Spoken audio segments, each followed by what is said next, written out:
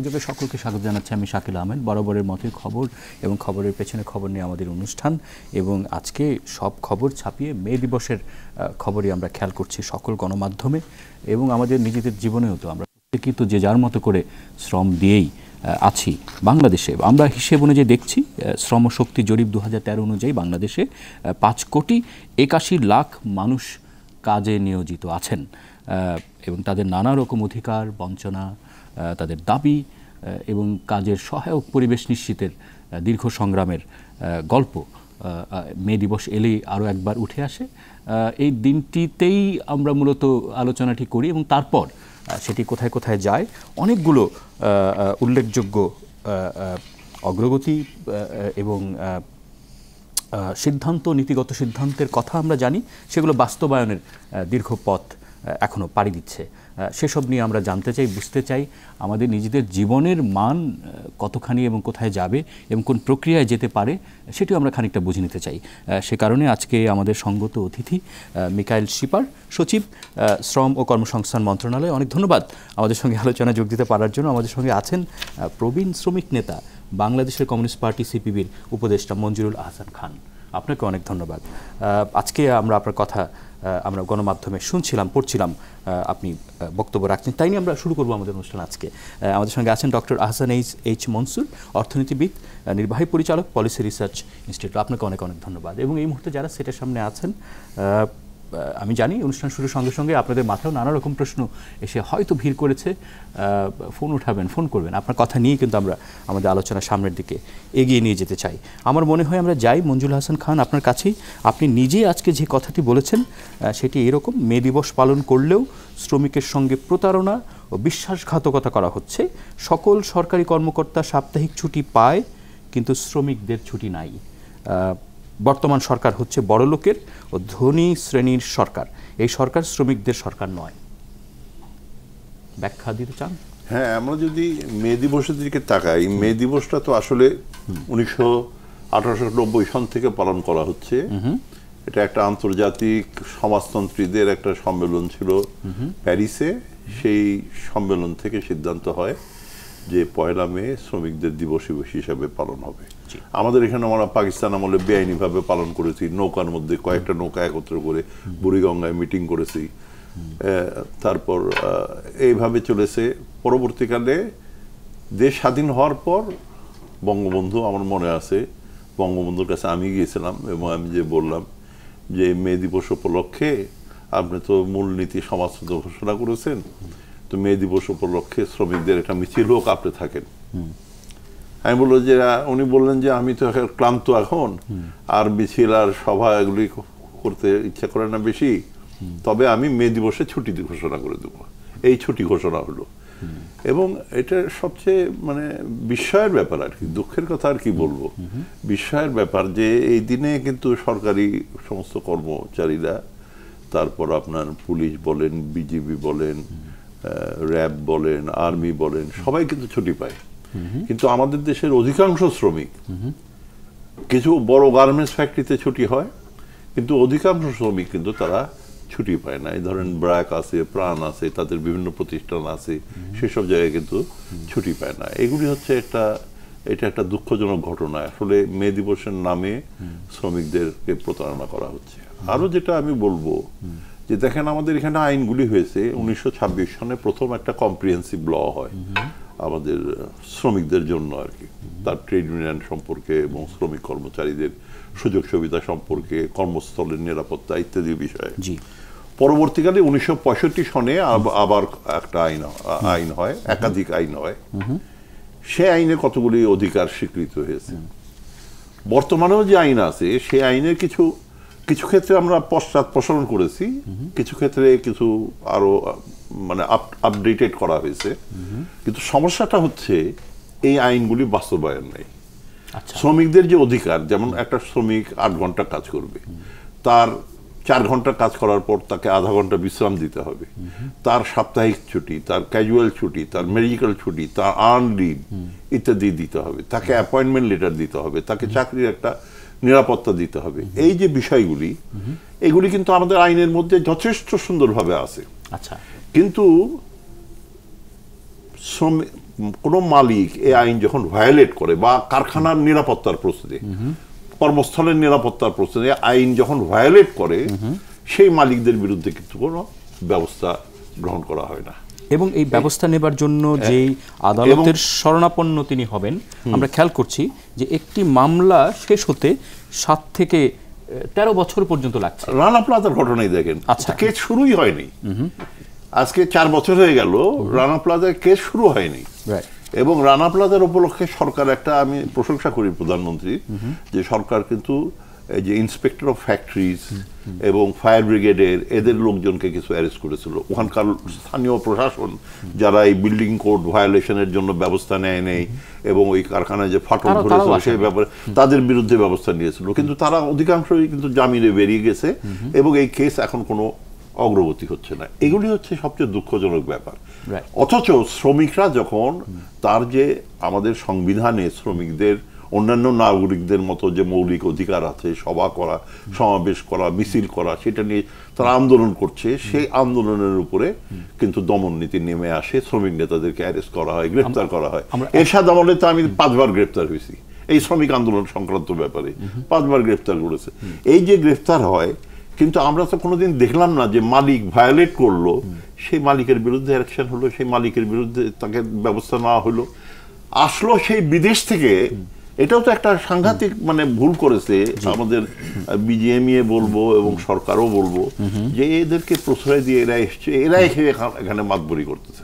আচ্ছা। আমাদের এখানে ডিপলিটিসাইজ করার যেমন একটা চেষ্টা আছে। অ্যাকর্ড অ্যালায়েন্সের কথা বলছেন? হ্যাঁ অ্যালায়েন্স আচ্ছা, আচ্ছা। এগুলি তারা এসছে এবং তারা কতগুলি বিষয় আমাদের উপরে চাপিয়ে দেওয়ার চেষ্টা করছে। আচ্ছা নতুন নতুন প্রসঙ্গে যাবার আগে আপনি অনেকগুলো প্রসঙ্গ এরই মধ্যে বলে ফেলেছেন। আমরা সেটা নিয়ে খানিকটা যদি যেতে পারি মিখাইল শিপার সচিব শ্রম কর্মসংস্থান মন্ত্রণালয় কি মনে হয় যে আমাদের আইনের শাসন? আমার তো মনে হচ্ছে শব্দটা তো এরকমই হবে তাই আইন আছে শাসন আহ, প্রতিষ্ঠা কি সংকট হচ্ছে কিনা? না অবশ্যই আমি অস্বীকার করব না আইনের আইনের প্রয়োগের ক্ষেত্রে আমাদের দুর্বলতা আছে। এটা- এটার মধ্যে কারণও আছে আমাদের আমাদের ক্যাপাসিটি বিল্ডিং তেমন হয়নি। আমাদের এই ইভেন্ট ধরনের বিফোর রানা প্লাজা আমার ইন্সপেকশন ডিপার্টমেন্টে খুব কম ছিল। তিনশো চোদ্দ জন ক্যাপাসিটিতে একটা জনবলের একটা ডিপার্টমেন্ট ছিল।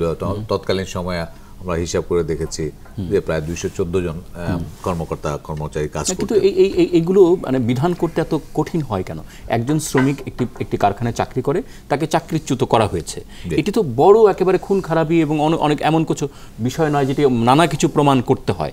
যে এটি সহজবোধ্য একটি আইনের বিষয়ের মধ্যে আছে এটি ডেকে জি এটি সময় কেন লাগে? বা এটি কি হয়? না এখন আইনে আইনের থেকে যখন আমরা আমাদের শ্রম আইনে বলা আছে অল্টারনেটিভ ডিসপুট রেজুলেশনের একটা বন্দোবস্ত আছে যেহেতু শ্রম আইনের ত্রিপক্ষীয় ব্যাপারটা আছে সরকার মালিক এবং শ্রমিকের ব্যাপারটা। আমরা কোর্টে যাওয়ার আগে আমরা ওইটা ওইটা আচ্ছা। ওইটা চেষ্টা করি। ওকে। আর ওইটা চেষ্টা করার পরে যদি ফেল করি তাহলে আমরা কোর্টে যাই। তো কোর্টের তো অবস্থা অলরেডি মঞ্জুর ভাই বলেছেন যে আমাদের একবার কেসে গেলে। আর আনফর্চুনেটলি আমাদের লেবার আইনের যেসব ইয়ে আছে বা আইনের মাধ্যমে যেগুলি আইন প্রয়োগের যেটা ইয়ে আছে এটা অনেকটা সিভিল নেচারে একবার ঢুকলে ওই শ্রমিক খুব সহজে আর কি যেতে- সামান্য বেতন দিয়ে যদি কোনো দিন কোনো কারণে যায় যে ছয় মাস নয় মাসে বেতন এটাকে সহজ করার কি উপায়? এটাও আইন পরিবর্তন এবং এই আইন পরিবর্তনের কাজে এটা চলমান প্রসেস আমরা দুই হাজার ছয় সালে একটা শ্রম আইন হয়েছিল অন্যান্য যে অলরেডি অনেক আগে থেকে যেসব পঁচিশটা আইনের সমন্বয় করে একটা শ্রম আইন করেছিলাম এটা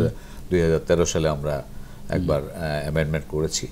এইখানে করার পরেও দেখা গেছে যে অনেক ক্ষেত্রে আমাদের আমাদের আগে তো কোনো কোনো ক্ষেত্রে বেতন না দিলে বা শিশু শ্রম রাখলে পাঁচশো টাকা জরিমানা ছিল। এটাতে একসাথে পাঁচ হাজার টাকা করেছি কিন্তু হঠাৎ করে পাঁচ লক্ষ টাকা করা যাচ্ছে না। এটারও একটা ক্যাপাসিটি ইয়ে আছে যে আপনার মালিকের ক্যাপাসিটি আছে যে হঠাৎ করে ইয়ে এইসব আস্তে আস্তে গ্রেজুয়ালি আমরা আগে বাড়তেছি এবং আমরা আইন পরিবর্তনের চিন্তা ভাবনা করতেছি এবং বিশেষ করে শ্রমিক যেখানে আইনের আশ্রয় নিচ্ছে ওই আইনগুলি একটু ইজি করে একটা টাইম বাউন্ড করে দিয়ে যদি দিতে পারি যে নব্বই দিন বা একশো বিশ দিন। তাহলে এটা এটা হ্যাঁ এটা আহ, আমরা করতে চিন্তা ভাবনা আছে কিন্তু it will take time it will take time এবং ফলে সব মিলে তো আমাদের তার মানে তো কর্ম পরিবেশের উপরে এর প্রভাব পড়ে। হ্যাঁ এবং সব সব মিলে হচ্ছে আমাদের যারা জনগোষ্ঠী যাদের উপরে হচ্ছে এই এই আয়ের উপরেই তো বাংলাদেশ দাঁড়িয়ে থাকে। এই শ্রমিকদের আয়ের উপর বাংলাদেশ দাঁড়িয়ে থাকে। এই কথাটা কি সত্য? এই কথা শুধু বাংলাদেশ না বিশ্বই এটা সত্য। জি আমরা যদি। বলি জিডিপিতে একটা হচ্ছে ক্যাপিটাল একটা হচ্ছে লেবার কার কন্ট্রিবিউশন কত? রাইট আমি যদি মার্কিন যুক্তরাষ্ট্রের কথা ধরি সেখানে ঐতিহাসিকভাবে সেখানে ছিল পঁচাত্তর থেকে আশি শতাংশ হচ্ছে শ্রমিক আর বাকি পঁচিশ থেকে বিশ শতাংশ বিশ থেকে পঁচিশ শতাংশ হচ্ছে ক্যাপিটাল যারা এন্টারপ্রেনিউর এটা এখন একটু মার্কিন যুক্তরাষ্ট্রে ইনকামের বৈষম্য ইত্যাদির কারণে এটা এখন সত্তরের দিকে নেমে এসছে শ্রমিকদের ভাগ আর ওখানে তিরিশের দিকে চলে গেছে। এটা গ্রহণযোগ্য নয় বলে আমি মনে করি। কাজে আমি এক্সট্রিমটা দিলাম। স্বাভাবিকভাবে আমি মনে করব যে আমাদের জিডিপিতে শ্রমিক তো আমরা সবাই। সবাই। আমি শ্রমিক আপনি শ্রমিক আমরা সবাই শ্রমিক। আমি হয়তো একটু ভালো জায়গায় কাজ করি অন্যরা একটু খারাপ জায়গায় কাজ করে এই তো। কিন্তু শ্রমিক আমরা সবাই। অধিকার আমাদের সবারই। সেটা নিয়ে কোনো বিতর্কের কোনো স্কোপ নাই। এখন প্রশ্নটা যেটা আসে সেটা হচ্ছে যে একটা সমাজ যখন বিবর্তনের ভিতর দিয়ে যায় যেটা বাংলাদেশ সমাজও যাচ্ছে। সেখানে অধিকার প্রতিষ্ঠা কিন্তু একদিনে হয় না। তবে সংগ্রামটা চালিয়ে যেতে হবে। এটাকে সবসময় উল্লেখ করতে হবে এটা নিয়ে এক ধরনের নীরব বা সরব দুই ধরনের আন্দোলন আজকে করতে আজকে প্রধানমন্ত্রী যে কথাটি বলেছেন যে তিনি তো এজেন্ট হিসেবে শ্রমিকদের এজেন্ট হিসেবেই তিনি দাবি করেছিলেন বেতন বৃদ্ধির সুপারিশ করেছিলেন সেই সময়কালের কথা তিনি উল্লেখ করছেন। পাঁচ হাজার তিনশো টাকা যখন হলো আমি বলছি যে এই যে শ্রম আদালতের সংখ্যা এটি বাড়ানোর জন্য কি কি প্রয়োজন? আমি আমি বলছি শ্রম আপনি আপনি যদি সুশাসন নিশ্চিত করতে পারেন তাহলেই তো শ্রমিকদের আন্দোলন করতে রাস্তায় নামতে হয় না। এবং সুশাসন নিশ্চিত করবার জন্য আপনার হাতেই চাবিকাঠি আছে। আপনি শ্রম আদালত আছে আপনার কয়টি? বারোটি তাই তো? সাতটির মতো আছে। তাহলে এটি কেন অসং এটি কেন আরও অনেক বাড়ে না? আমাদের কোথায় অভাব? আমাদের এবং এবং আইন না হয় আমরা বুঝলাম ঠিক আছে এটি প্রায়োরিটিতে হয়তো পড়ছে কিনা কবে পড়বে?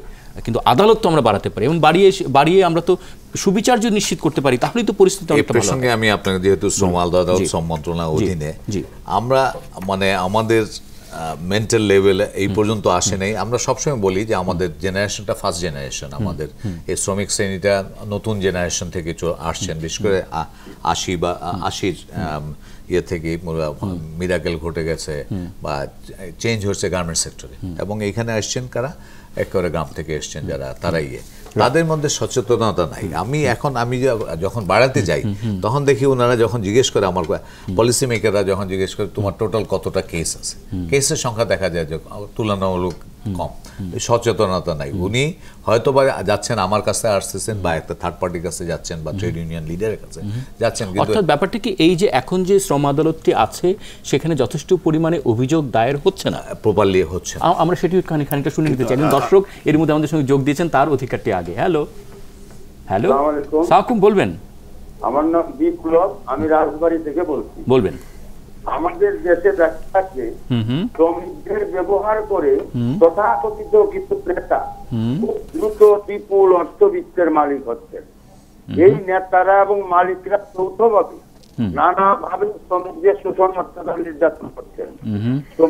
সাধারণ শ্রমিকদের এই নেতা এবং মালিকদের অত্যাচার থেকে মুক্ত করার জন্য শ্রমিকদের হাতে নেতৃত্ব ফিরিয়ে দেওয়ার কোনো ব্যবস্থা করা যায় কিনা? একেবারে মৌলিক প্রশ্ন। এই অনুষ্ঠান শুরুর আগেও এই নিয়ে আমাকে আমাদের প্রতিবেদকেরা কথা বলছিলেন তো পরামর্শ দিচ্ছিলেন। একই প্রশ্ন হয়তো আমিও হয়তো করতাম। যাব আমরা উত্তরে যাব। এর মধ্যে আমরা এই উত্তরটা দিতে চান আপনি? তারা বলছেন যে জি বলবেন। এটা একটা বড় সমস্যা হয়েছে। বাংলাদেশে ট্রেড ইউনিয়ন মুভমেন্টের ক্ষেত্রে একটা বিরাট পরিবর্তন হয়ে গেছে। রাজনীতিতে যেমন দুর্বৃত্তায়ন বেড়েছে আমাদের রাষ্ট্রপতি বলেছেন যে আমাদের সংসদে অধিকাংশ যে রাজনীতিবিদ তারা হচ্ছে কোটিপতি এবং বিপুল অর্থের মালিক তাদের প্রফেশন হচ্ছে ব্যবসা এবং রাজনীতিকেও তারা ব্যবসা হিসাবে নেন। আমাদের ট্রেড ইউনিয়নকেও অনেকে ট্রেড হিসেবে আজকে গ্রহণ করছেন। এটা একটা ভয়ঙ্কর অবস্থা সৃষ্টি হয়েছে। এক সময় দুর্নীতিবাজ এবং মানে মালিকের পকেট ইউনিয়ন ছিল উনসত্তরের গণ অভ্যুত্থানের আগে। উনিশসত্তরের গণ অভ্যুত্থানের পরে একটা বিরাট পরিবর্তন আসলো র্যাডিক্যাল নেতৃত্ব, যারা একটু প্রগতিশীল, একটু বামে ঘেঁষা, সেই সমস্ত নেতৃত্ব এসে শ্রমিক আন্দোলনে তারা নেতৃত্ব স্থাপন করল, আগের লোকগুলি উচ্ছেদ হয়ে গেল।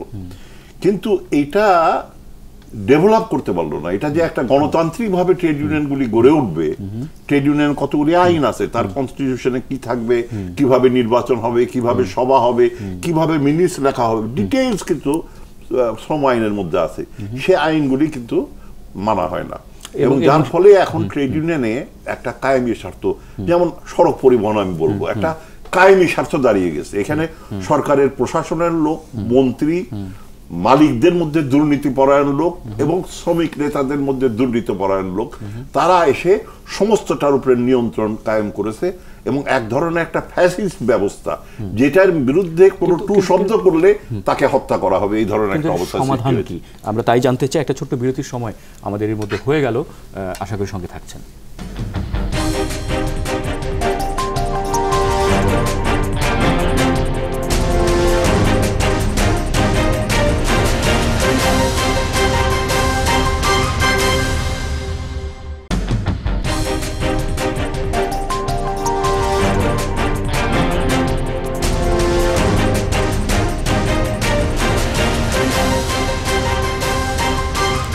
থাকবার জন্য অনেক অনেক ধন্যবাদ। আমরা মে দিবসের শ্রমের মজুরি এবং তার অধিকার নিয়ে কথা বলবার চেষ্টায় আছি। আমরা ঠিক বিরতির আগে আগে যে প্রসঙ্গটিতে ছিলাম একজন দর্শক প্রশ্ন করেছিলেন যারা নেতৃত্বে আছেন শ্রমিকদের তাদের মধ্যেই তো আবার দুর্নীতিবাজ কায়েমি স্বার্থবাজ ঢুকে পড়েছে নাকি?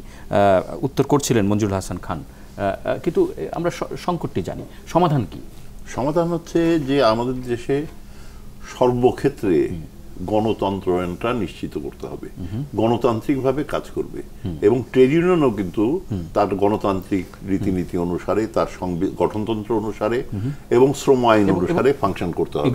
এবং ট্রেড ইউনিয়ন যদি ফাংশন না করে তাহলে কিন্তু রেজিস্ট্রার অফ ট্রেড ইউনিয়নের পক্ষ থেকেও কিন্তু তাদের বিরুদ্ধে ব্যবস্থা গ্রহণ করা যেতে পারে. এই ব্যবস্থাগুলি যদি আমরা ঠিকভাবে গ্রহণ করতে পারি এবং আমরা নিজেরাও যদি আত্মশুদ্ধি করি তাহলে একটা সুস্থ ট্রেড ইউনিয়ন ধারা আমাদের দেশে গড়ে। রাকসু ডাকসুর মতো করে যদি আমরা আমরা যদি পার্টিসিপেশন অফ হ্যাঁ। আপনার intervention of political party political party এগুলিকে অঙ্গ দল হিসাবে তৈরি করে ফেলে। যেই জন্য সিক্সটি নাইন আপরাইজিং এর পরে যে বিপুল সম্ভাবনাটার সৃষ্টি হয়েছিল একটা সুস্থ ট্রেড ইউনিয়ন ধারা গড়ে তোলার সেটা কিন্তু নষ্ট হয়ে গেল। কেননা বিশেষভাবে পলিটিক্যাল পার্টির অ্যাপেন্ডেজ হিসেবে অঙ্গ সংগঠন হিসেবে এগুলি ফাংশন করা শুরু করল। কাজেই শ্রম আইন অনুসারে আইএলও কনভেনশন অনুসারে এবং গণতান্ত্রিক রীতিনীতি অনুসারে যদি ফাংশন করে। দল তো তার কর্মী সংখ্যা বাড়াতেই চাইবে। এবং দলের দল কি সেই তার দায়িত্ব তো হচ্ছে তার কাজটি তো হচ্ছে আবার কর্মী বাড়ানো দল দল যদি তাদেরকে ডিকটেট করে সেটা ট্রেড ইউনিয়নের জন্য ভালো না দলের জন্য ভালো না। দল কিন্তু ইন্ডিপেন্ডেন্ট দল কিন্তু ইন্ডিপেন্ডেন্ট যেমন এখন দশ হাজার টাকা। ষোলো হাজার টাকা মজুরির ব্যাপারে একটা দাবি উঠেছে। এটা তো শ্রমিক লীগও দাবি করছে। আপনার স্কপ থেকে তারা দাবি করেছে যে জাতীয় একটা ন্যূনতম মজুরি করা হবে। সেটা কিন্তু শ্রমিক লীগও দাবি করছে কিন্তু প্রধানমন্ত্রী বা সরকার কিন্তু একই এখানে- তো এখানে তো ভূমিকাটা নিতে হবে রাষ্ট্রের? রাষ্ট্রের। যিনি কর্মকর্তা আছেন তিনি কার কোন প্রতিনিধির সঙ্গে কথা বলছেন কার সঙ্গে তিনি তার আগে তো গণতান্ত্রিকভাবে নির্বাচনের ব্যবস্থাটি করতে হচ্ছে তাই তো? আমি কারখানায় কারখানায় যদি আহ, ভোটের মাধ্যমে নেতৃত্ব নির্বাচিত হয় ভোট এবং সেই ভোট ঠিক মতো হচ্ছে কিনা ভোটার হয়েছেন কিনা? এবং এবং শেষ পর্যন্ত নেতৃত্ব যদি বেরিয়ে আসে সেটি আমরা কেন করতে পারছি না? না আমাদের শ্রম আইনের ভিতরে আমাদের আইনে আছে। আইনে আছে এবং আইনের আইন আমরা প্রয়োগও করছি এবং আইনের মাধ্যমে আমরা কিছু পার্টিসিপেটরি কমিটি যেগুলি হচ্ছে এগুলি ইলেক্টেড পার্টিসিপেট হ্যাঁ আমি আগে Rana Plaza before Rana Plaza হয়তো বা এটা ছিল না আমাদের আইনে ছিল কিন্তু প্রয়োগ ছিল না। ইভেন টোটালটাই প্রয়োগ ছিল না। আমরা এই যে মঞ্জুর ভাই যেটা বললেন যে অ্যাকর্ড অ্যালায়েন্স ওই সময় যদি আমি অ্যাকর্ড অ্যালায়েন্সকে ওয়েলকাম না জানাতাম, এই দেশ থেকে একটা আপনার একটা একটা রেডিমেড শার্টও বোধ হয় বিদেশিরা নিয়ে যেত। হ্যাঁ এটার বিনিময় অনেক কাঠখোট পড়াতে হয়েছে আমাদের অনেক কিছু করতে হয়েছে। এর পরেও আমরা একটা বিশ্বব্যাপী একটা স্ট্যান্ডার্ড অবস্থানে এসেছি। এখন আমাদের শুধু এই রানা প্লাজার দিনের যে এক্সপোর্ট ছিল ওইটার থেকে আমাদের ওইটা ফেরত আনেনি এবং বরঞ্চ বেড়েছে। এখন তারা আঠাইশ বিলিয়ন ডলার লাস্ট ইয়ারে ওনারা এক্সপোর্ট করেছেন। হোয়ারেজ ওইখানে ওই সময় ছিল বোধহয় বারো বিলিয়ন বা তেরো বিলিয়ন ডলার শ্রমের বিনিময়। আমি বলছি মানুষের শ্রমের বিনিময় মেধার বিনিময়। এবং সঙ্গে আপনারা সকলে মিলে যে আপনার ব্যবস্থাপনা তৈরি করছেন তার ফলাফলটি। কিন্তু আমরা যে নির্বাচন হ্যাঁ, প্রসঙ্গে ছিলাম। আমার যে ওই একই কথা আমি সবার প্রতি শ্রদ্ধা রেখে বলছি যে মাঝখানে যে ট্রেড ইউনিয়নের যারা এসছেন ট্রেড ইউনিয়ন নেতৃবৃন্দ তাদের সাথে কিন্তু মূল শ্রমিকের কোনো যোগসূত্র নাই। বরঞ্চ কোনো কোনো ক্ষেত্রে দুঃখজনক হলে বলা যায় যে এই ট্রেড ইউনিয়ন লিডারদের সাথে বরঞ্চ মালিক পক্ষের বেশি যোগাযোগ আছে। যে সে কারণে নির্বাচিত প্রতিনিধিদের সঙ্গেই রাষ্ট্র যেন যোগাযোগ স্থাপন করে তার কি ব্যবস্থাপনা? নির্বাচিত প্রতিনিধিদের সাথে রাষ্ট্রের সরাসরি যোগাযোগ ইটস ইম্পসিবল আচ্ছা। এটা নির্বাচিত প্রতিনিধিদের সাথে মালিক পক্ষ মালিক ম্যানেজমেন্ট ওরা যোগাযোগ করতে হবে। ওনারা একসাথে বসে মালিককেও আপনার এই যে লেবার লিডারদের বা লেবার ট্রেড ইউনিয়ন যারা ইলেক্টেড বডি আছে ওদেরও ইয়েতে আনতে হবে কনফিডেন্সে আনতে হবে এবং মালিককে শ্রমিককেও মালিকের কনফিডেন্সে এখন বর্তমানে আমাদের যে অবস্থা আছে দুইজনের মধ্যে দুইটা একটা কনফিডেন্স বিল্ডিং এর কোনো ইয়ে নেই কেউ কাউকে বিশ্বাস করতে পারছে না। এবং মাঝখানে ঢুকে গেছেন কিছু তথাকথিত ট্রেড ইউনিয়ন আমি সবাই কথা বলতে নাই সর্বজন সদ্য অনেক বড় বড় ট্রেড ইউনিয়ন লিডাররা আছেন ওনারা হয়তো বা বেশি দিনও থাকবেন না, কিন্তু নতুন যারা এসছেন, তাদের সে- এই যে আজকে ষোলো হাজার টাকা দাবি হচ্ছে ইজ ইট পসিবল একটা একটা একটা এস্টাবলিশমেন্টের পক্ষে পাঁচ হাজার থেকে ষোলো হাজার টাকা, কি মিরাকেল এত ঘটে গেল যে আপনি পুরা চেঞ্জ করে দেবেন? এইটা মূল শ্রমিক, ও জানে কিন্তু। ও জানে পাঁচ হাজার টাকার থেকে খুব বেশি হলে ছয় হাজার, সাত হাজার হতে পারে। কিন্তু এর বেশি ওই বলে ফেললে জুসি একটা ইয়ে দিলে, আহ্বান দিয়ে দিলে এটা হবে না। ষোলো হাজার কেন আমরা শুনব আপনার কাছ থেকে? আপনার এই বিষয়ে মত কি? দেখুন আলটিমেটলি শ্রমিক কি পাবে সেটা কিন্তু নির্ভর করে শ্রমিকের কার্যদক্ষতার উপর। যেটাকে আমরা অর্থনীতি বলি আমরা ন্যূনতম মজুরি বলছি। ন্যূনতম মজুরিও। আমি যদি আমার ওয়ার্থ বা আমি আপনি তাকে নিয়েছেন আপনি তাকে নিয়েছেন যিনি যিনি কাজ করতে আমি পারবেন। চীনের কথাই ধরুন আপনি আপনি তাকে নিয়েছেন যিনি কাজ করতে পারবেন। productivity না থাকে। অর্থে ন্যূনতম যদি কাজ করতে না পারে, আমি কিন্তু আপনি তাকে নেননি। সেই অর্থে ষোলো হাজার টাকা বলা হচ্ছে। হ্যাঁ ষোলো হাজার টাকা কোনো একটা অর্থনীতিতে এইভাবে জাম্প করে কোনোদিন একটা মিনিমাম ওয়েজ ফিক্স করা যায় না। যেমন ধরো আমি বলি চীনের কথা ধরি। চীনে গত দশ বছরে প্রকৃত মানে তাদের ওয়েজ তিন গুণ বেড়েছে. স্ট্যাটিস্টিক্যাল ফ্যাক্ট আচ্ছা। কেন বেড়েছে? শ্রমিক ইউনিয়নের জন্য না। বাজারে চাহিদা সৃষ্টি হয়েছে। তাদের প্রোডাক্টিভিটি বেড়েছে তাদের আউটপুট বেড়েছে তাদের ইকোনমি এক্সপ্যান্ড করেছে শ্রমিকদের মজুরি বেড়েছে। সরকারি কর্মকর্তাদের- সরকারি কর্মকর্তাদের বেড়েছে বাংলাদেশে। বলতে পারি। জি। সরকার একটা ক্ষুদ্র একটা অংশ অর্থনীতি। বাদ দিয়ে দেন সরকারকে। বাস্তবে আসুন। বাস্তবে হলো বাংলাদেশের আশি শতাংশ সরকারের বাইরে। সরকার বাইরে। এবং এই আশি শতাংশের মধ্যে উনপঞ্চাশ শতাংশ সাতচল্লিশ শতাংশ হচ্ছে কৃষি খাতে ওকে। এবং বাকিরা হচ্ছে বেশিরভাগ হচ্ছে বারো তেরো শতাংশ বাদ দিলে বাকিরা হচ্ছে ইনফর্মাল সার্ভিস সেক্টর অলমোস্ট কাজে এদের খাতে এখানে কোনো ট্রেড ইউনিয়ন নাই এখানে কোনো মজুরি নাই এখানে সবই বাজার ব্যবস্থার উপর চলে। আচ্ছা। কাজে আপনি যদি সত্যি সত্যি শ্রমিকের উন্নয়ন চান বাংলাদেশের ট্রেড ইউনিয়ন দিয়ে কিন্তু শ্রমিকের উন্নয়ন হবে বলে আমি মনে করি না। এখানে অর্থনৈতিক উন্নয়নটাই হবে আসল চাবিকাঠি। আমাদের এগ্রিকালচার ওয়েজ বেড়েছে গত সাত বছরে। অনেক বেড়েছে। কেন? কোন ট্রেড ইউনিয়নের বদলতে কোন আন্দোলনের বদলতে না বাজার ব্যবস্থার বদলতে। কারণ আমাদের অর্থনৈতিক প্রবৃদ্ধি গতিশীলতা পেয়েছে সেখান থেকে প্রোডাক্টিভিটি বাড়েছে এগ্রিকালচারের রেভলিউশন হয়ে গেছে মেশিনারি চলে আসছে তাদের প্রোডাক্টিভিটি বাড়ছে। আজকের যে উৎপাদন সেটা অনেক বেশি সত্তর আশির দশকের চাইতে। সেই কারণে তাদের আয় বেড়েছে। কাজে প্রত্যেকটা ক্ষেত্রে আমরা যেটা বলতে চাই যদি অর্থনৈতিক উন্নতিটা আমরা ধরে রাখতে পারি আরও বেগবান করতে পারি সবচেয়ে বেশি উপকৃত হবে কিন্তু মালিকটা তো হবে কিন্তু শ্রমিকরা কিন্তু ব্যাপকভাবে উপকৃত হবে। তখন তখন সেটি মালিকের ইচ্ছাধীন ইচ্ছা অনিচ্ছার উপর নির্ভর করবে কিনা? না। আমি বলছি করবে না কারণ বাজারে যদি চাহিদা সৃষ্টি হয় আমাকে তো বিজনেস করতে হলে লেবার তো আমাকে নিতেই হবে। আমরা একটু খানিকটা শুনে আসি আমরা একটু আমরা নেতার কাছ থেকে শুনে আসি। আহ, মঞ্জুল হাসান খান আপনার কাছে হয়? আমি। যেটা বলতে চাই এক নম্বর কথা যে আপনারা বলছেন যে শ্রমিকদের দাবি দেওয়া। সেখানে লেবার কোর্টের কথা এসছে লেবার কোর্টের সংখ্যা কম কেন?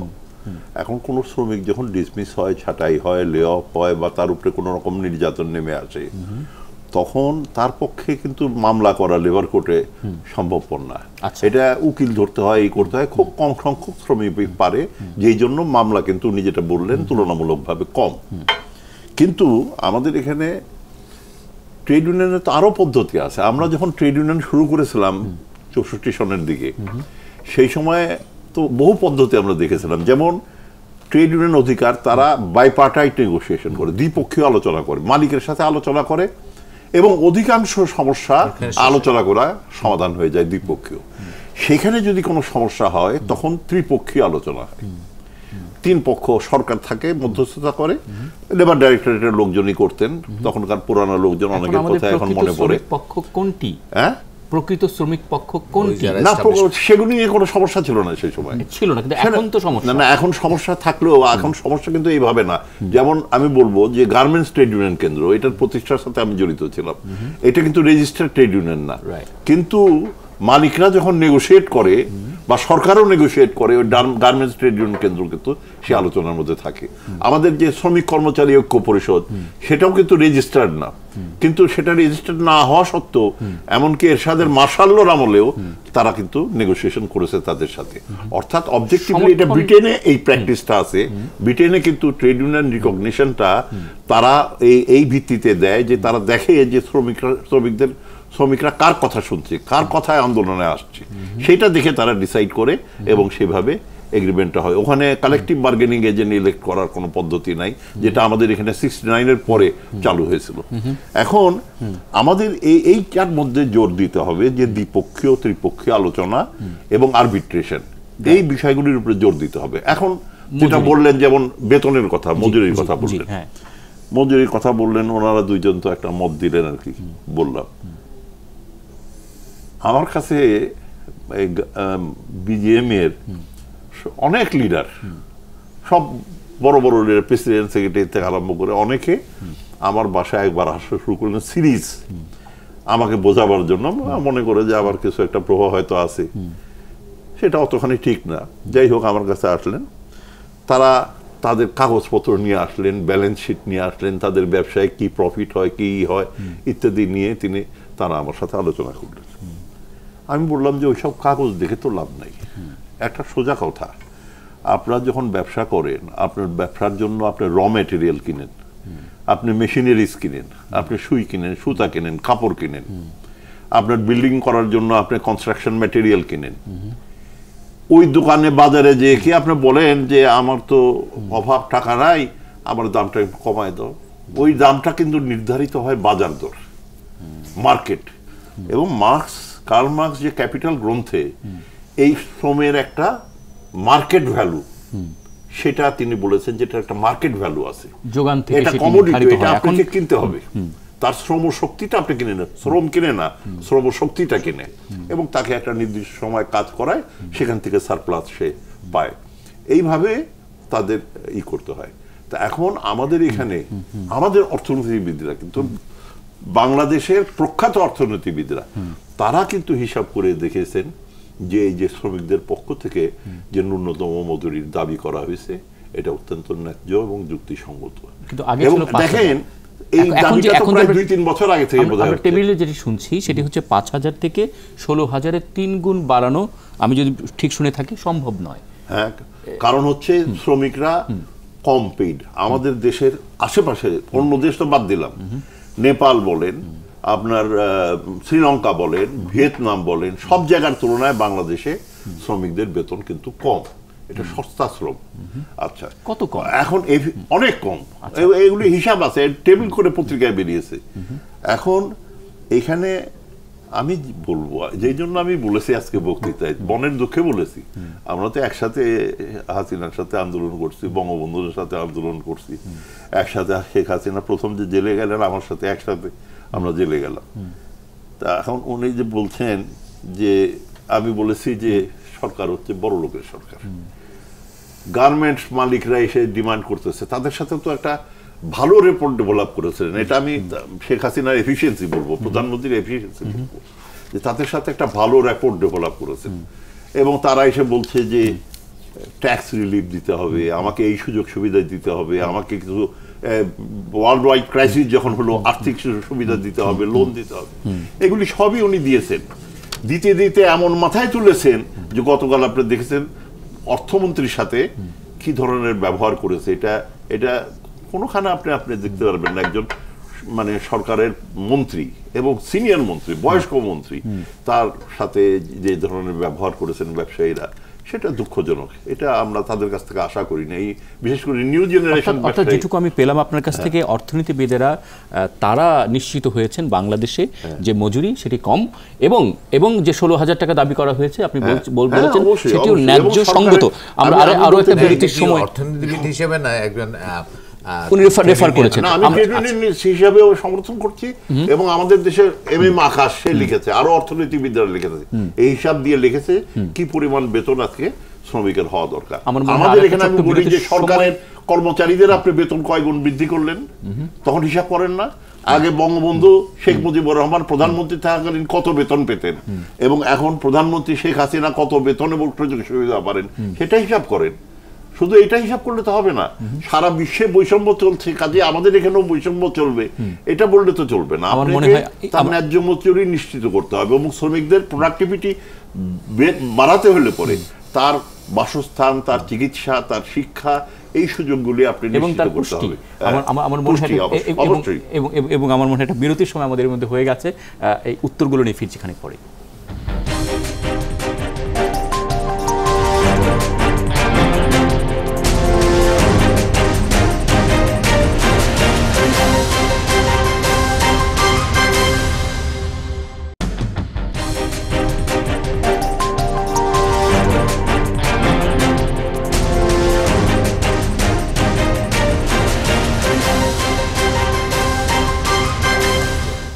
থাকবার জন্য অনেক অনেক ধন্যবাদ। আবার আমরা ফিরলাম একাত্তর সংযোগে। আমরা ঠিক বিরতির আগে আগে ছিলাম ন্যূনতম মজুরি।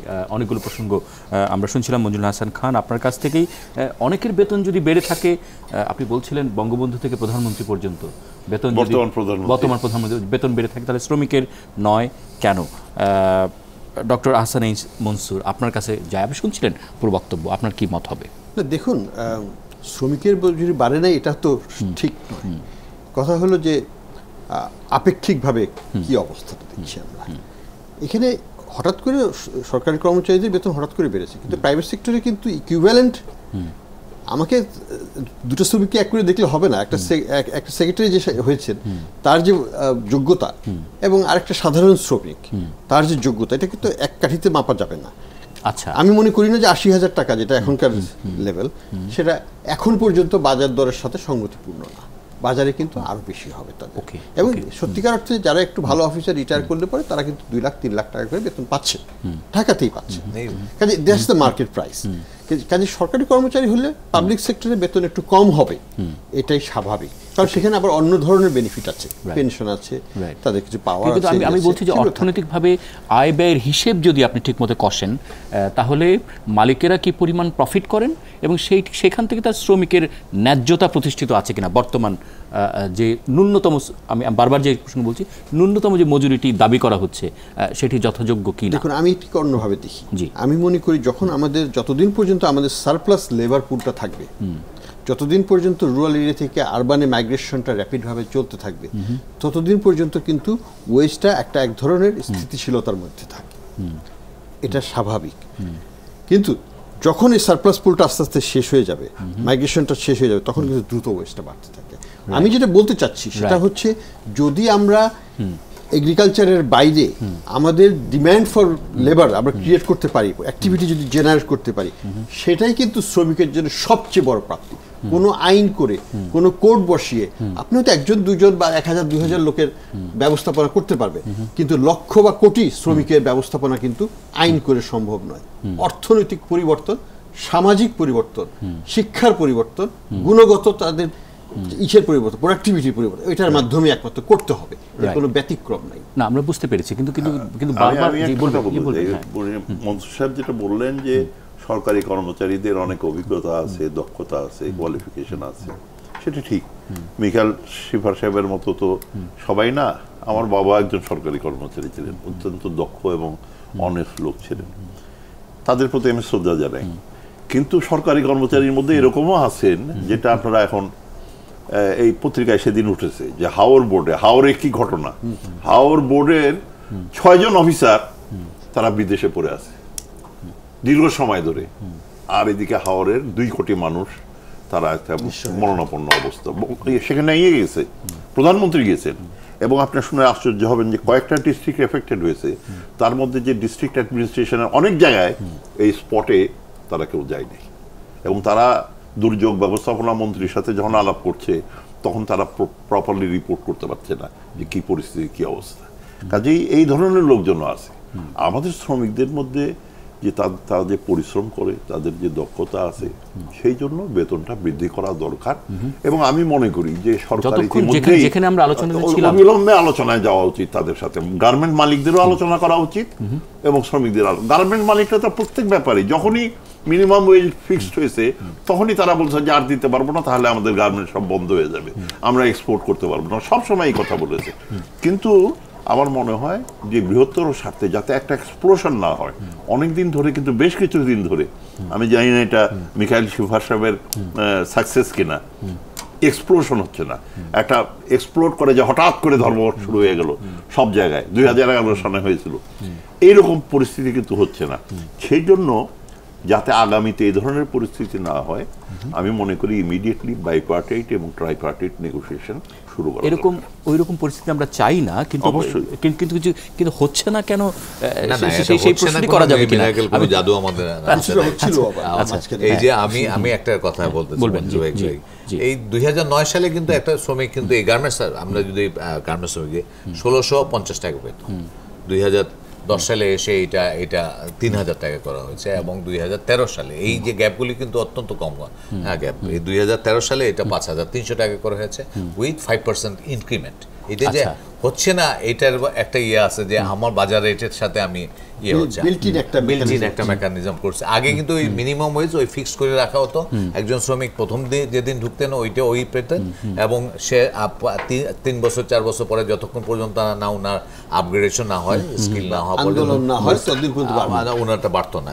এখন কিন্তু এইবারে লাস্ট টাইমে আমরা এটা ইনক্রিমেন্ট করেছি এটাও one of one of the issues আপনার ওই যে আন্দোলন হওয়া না হওয়া। তারপরেও আন্দোলন হচ্ছে না যে আমরা বলতে বলব না এই যে অলরেডি কথা উঠেছে। কিন্তু আমার একটা কথা হচ্ছে আমিও তো সচিব হিসেবে লো পেড আমি আশি হাজার টাকা বেতন পাচ্ছি কিন্তু আমারই সমসাময়িক আরেকজনের প্রাইভেট সেক্টরে একটা ব্যাংকের এমডি পাচ্ছেন আট লক্ষ টাকা সাত লক্ষ টাকা। এটাও তো আমি বলতে পারি যে আমিও লো- লো pay, এই যে, অবশ্যই। আহ, এটা এটা হতে পারে। কিন্তু আমরা এইটা এই যে জিনিসগুলি বিচার বিশ্লেষণ করতেছি এবং অটো সময় আইনের বিধান মোতাবেক পাঁচ বছর অলরেডি তিন বছর হয়ে গেছে সাড়ে তিন বছর পর্যায়ে আমরা একটা পর্যায়ে এসে আমরা চিন্তা ভাবনা করব। আবার তার জন্য যে মজুরি কমিশন গঠন করবার ছিল একটা প্রক্রিয়া শুরু হয়েছিল তার কি সবশেষ এটার জন্য ইয়ে হয় নাই। রাষ্ট্রায়ত্ত শিল্প প্রতিষ্ঠানের জন্য রাষ্ট্রায়ত্ত যেখানে আমাদের গভর্নমেন্ট যারা ওয়ার্কার আছেন। তাদের জন্য যে সরকারি জুট মিল সরকারি টেক্সটাইল মিল এবং ন্যূনতম মজুরি বোর্ডের কথা বলেছেন আর কি। না না আমি আমি- আগে বলেছেন আমি এখন রাষ্ট্রায়ত্তটি আপনি যদি উত্তর করেন জি। সেক্টরে ন্যূনতম মজুরির জন্য একটা কমিশন গঠন করে ওনার কাজ করে রিপোর্ট কমপ্লিট করে ফেলছেন। এইটা যতদিন পর্যন্ত মাননীয় প্রধানমন্ত্রীর কাছে হ্যান্ড না করা পর্যন্ত আমি ডিক্লেয়ার দিতে পারছি না যে ওনারা এই ঠিক করেছেন। তারপরে আমরা হিসাব নিকাশ করে দেখব এটা হয় কমতেও পারে প্রায় প্রায় চূড়ান্ত অবস্থায় আছে। টোটালি চূড়ান্ত হয়ে গেছে। আমাদের দিন- দিনক্ষণের জন্য ওয়েট করছি যে মাননীয় প্রধানমন্ত্রীর কাছে এটা হ্যান্ড ওভার করবেন তারপরে ওর পর থেকে আমরা এটা ইমপ্লিমেন্ট আরও অনেকগুলো প্রসঙ্গ আমাদের বাকি এখনও রয়ে গেল। অনেকগুলো প্রসঙ্গ আমরা কথা বলতেও পারলাম না। সে কারণে কেবল মে দিবস নয়, অন্যান্য দিনেও এই আলোচনাটা আমাদের চলুক। সেই আশা রেখে আজকে অনুষ্ঠানে বিদায় চাইছি। ভালো থাকবেন সকলে।